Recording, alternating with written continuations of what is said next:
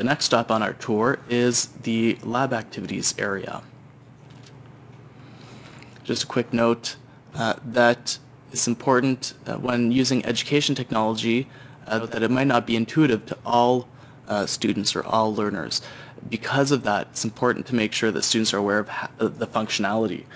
And in this case, you know, the first thing that the students see when they come into the lab activities area is this notice on how to access their feedback. One of the big advantages of online quizzes is that um, students can get immediate feedback following the submission of one of their attempts.